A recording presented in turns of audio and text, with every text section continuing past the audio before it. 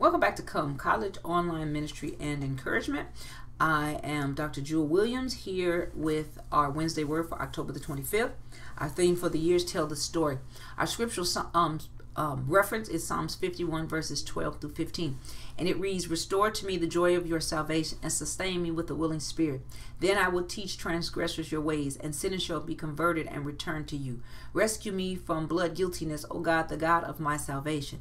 Then my tongue will sing joyfully of your righteousness and your justice. O Lord, open my lips that my mouth may declare your praises.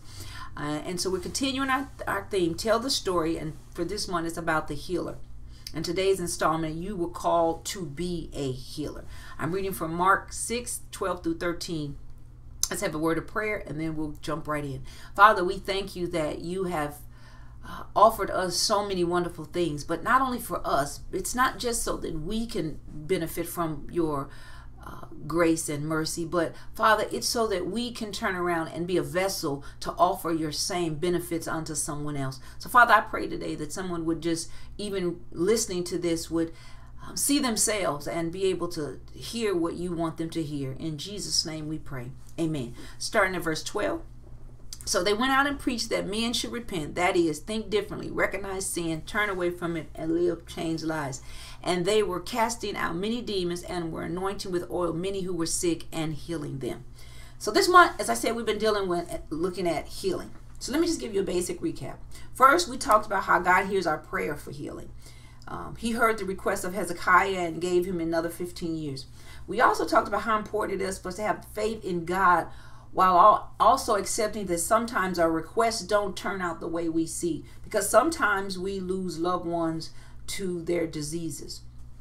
We also talked about how Jesus heals our emotional issues. Now I didn't say it, it say it I don't think I said it um, then but but I want to mention it here. There are hindrances to our healings. If I refuse to forgive someone, I can't expect God to answer my request for healing.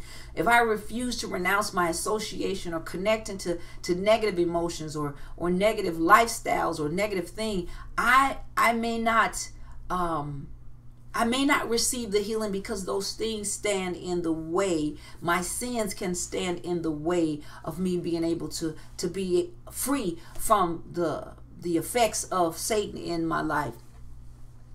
Um, and I've heard it said, you know, that God doesn't deliver us from our friends. So, in other words, really what is being saying is, if I'm in agreement with my negative emotions, if I'm in agreement with my bitterness or anger or or, or, or, or rejection, I can't really find the relief from how that will affect me or even affect me in a physical sense because I feel like I have a right to it and and really I have a right to that emotion in my thinking, but that emotion and that it's not just an emotion now, but that spirit of rejection or bitterness now has has a control of me.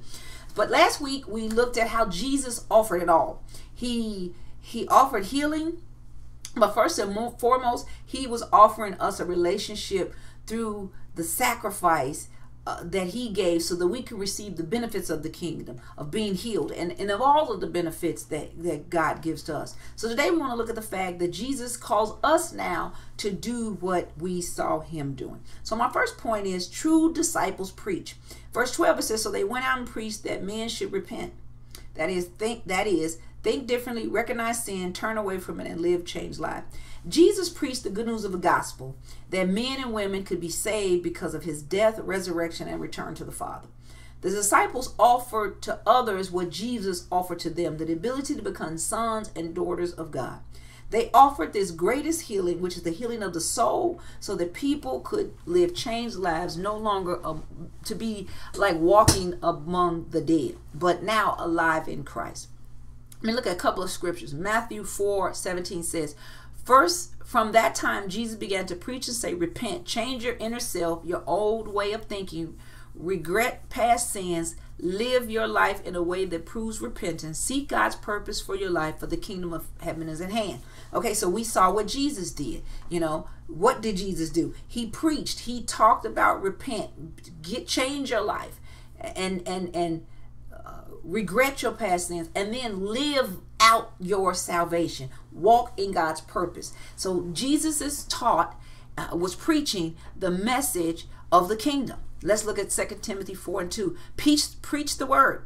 as an official messenger. Be ready when the time is right and even when it is not. Keep your sense of urgency, whether the opportunity seems favorable or unfavorable, whether convenient or inconvenient, whether welcome or unwelcome. Correct those who err in doctrine or behavior, warn those who sin, exhort and encourage those who are growing towards spiritual maturity with an inexhaustible patience and faithful teaching. So, what is the requirement? If you and I are children of God, the preaching is not just for the preacher, preaching is not just for the pulpit. Preach the word is that all of us have been called, in a sense, to tell of God's goodness, to tell the repentive message. And so part of the healing is this is how now we partner with God. We received all of this. And again, like I don't know if I said it or not, but we this is not just so I can have all what I need and I can just live a comfortable life.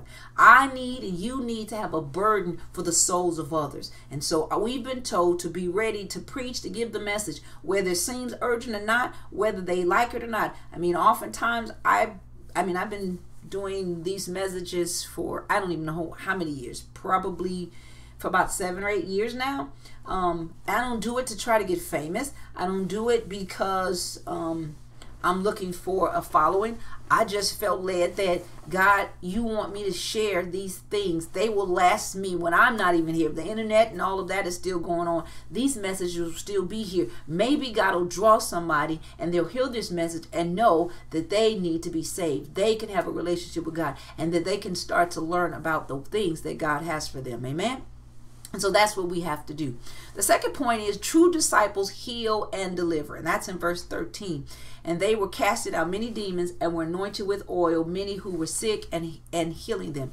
The disciples saw the work Jesus did, and he instructed them to do likewise. Today we are still under that same mandate. See, that's kingdom mandate. So that mandate has not changed. And for some reason, many of us have believed that this mandate is no longer important. We kind of feel like there's no healing, there's no delivery. But um, if Jesus did it, I don't know why we are not doing it.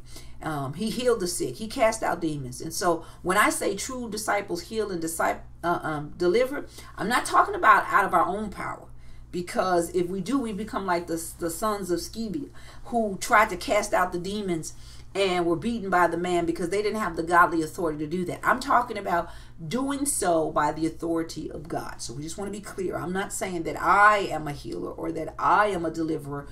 God may use me as a healer, God may use me as a deliverer, but it is His power and in His authority that that happens.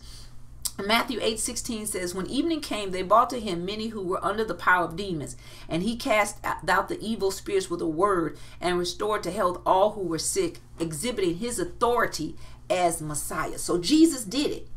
Jesus was continually teaching. Remember, I said he taught by what he said, but also he backed it up by what he did. So he was teaching by his actions that he had the power and authority over demons. He was able to cast them out and it says with a word. And i appreciate this because God, jesus did stuff so many different ways. And i think that's partly so we won't try to make one formula. Okay you can only do this because then if i'm doing it this way and you doing it that way you're wrong no he healed with a word here. Other times he cast out he did it different. Same thing with healing. He didn't always heal the same so that we could not put him in a box it tells us we just need to listen to the Holy Ghost. And what are the Holy Ghost telling you to? If he tell you what word to say, say a word. If he tell you something else, you do it. But you speak what he tells you to speak. Matthew 10 and 1 says, the 12 disciples, this in the prison, the 12 disciples instructions for service. Jesus summoned his 12 disciples and gave them authority and power over unclean spirits to cast them out and to heal every kind of disease and every kind of sickness. I just believe in the name of Jesus that God is taking us back to a time where we're understanding the fullness of the kingdom and that that is to be a true disciple we have to look like the things that Jesus did he gave his disciples this authority over these unclean spirits, to cast them out, and to heal every kind of disease and every kind of sickness. And we have to believe by faith that God is still doing that in us in us today. So we don't have to be afraid because I think sometimes we get fearful. I'm not going to pray for somebody because what if it doesn't happen? Well, how would you know unless you do it? So pray. If it don't happen, that's okay. Keep praying. I mean, even there's a time in scripture where Jesus prayed for somebody to be or touch somebody. I'm not sure if he prayed or touched or spoke or whatever. He was healing someone and and the the man and he asked him what he see and he said men look like basically fuzzy trees and he did it again. So guess what? If Jesus, who is all power and authority, spoke had to speak twice for somebody to get complete healing. So what if you got to speak 50 times, 100 times, 150 times? Just do it. That's the whole thing. Just do it. The enemy wants us to to think because it won't happen not to do it at all and then we become defeated. Amen. Mark 16 and 17 says, These signs will accompany those who have believed. In my name, they will cast out demons. They will speak in new tongues. So I'm excited to know that God is telling us that He has given us the ability. We should look like, as His true disciples, we should look a certain way. And that that is, He said we should cast out demons. We should speak with new tongues. Um, and so, you know, there's a lot of debate on, on the whole tongues thing. And I, I'm not going to actually get into that because I'm talking about the healing, but we should accompany him. There's something we should look like. We should look like him. And the question is, do we look like him? So, what's the life lesson? Healing isn't gone, it's still available to us today. To say God stopped healing is like saying he stopped being God. He still heals. He still wants us to believe in that healing and restoration of lives. He also wants us to be the vessels that are willing to go and pray for the sick. I love what James 5 14 and 15 says Is anyone sick among you? You must call to the elders, uh, spiritual leaders of the church, and they are to pray over him, anointing him with oil in the name of the Lord. And the prayer of faith will restore the one who is sick, and the Lord will raise him up. And if he has committed sins, he will be forgiven. I thank God because this is our mandate that we must be willing to now step in and become those who are called to be healers. We're called to be healers. So let me give you a recap before I pray. True disciples preach. We preach the kingdom message. I talked about this earlier in the month. We don't preach you like me, I like you. We don't preach stuff that draws people. That's not what it's about. We preach kingdom. Kingdom always, Jesus' message, no matter what it looks like, always in there, there's this reference to us having a relationship with Jesus Christ. Even if we're talking about people being restored, it still all points back to Jesus Christ as the source. Amen. If your messages are not pointing to Jesus as the source, then you want to be careful because you're pointing to another gospel, another God. And the gospel, the good news, everything points to Jesus. And then the second thing that we talked about is we true disciples, we, we're healers, we're deliverers. And that is by the power that God and the authority that Christ, because of our relationship with Jesus Christ, we have that power and authority to be able to do those things. So let me pray for us today. Lord, I pray that you would help us to become the healers that you called us to be. You have called us. First, you did it for us. You did it in us. And so now you've called us to go and tell the story about who you are as the healer. And in doing so, as we preach, as we demonstrate who we are and the authority of power we have, we point back people back to who the true healer is, and that is you. And you've called us to step into lives, Lord God, healing those emotional wounds, healing those physical wounds, healing the bodies, Father. So we pray and ask, Lord, that you would activate in us that desire. Stir up that gift inside of us. Stir it up, Lord God, because I believe that you've given it to us. Now stir it up on the inside of us so that we can step out and be who you've called us to be. So we say thank you. Have your way within us. Let us not be afraid. Help us to be bold and, and to preach, even as that said, in season, out of season, whether it's comfortable, whether it's received or not. Help us to go and do what you've called us to do. In Jesus' name we pray. Amen. God bless.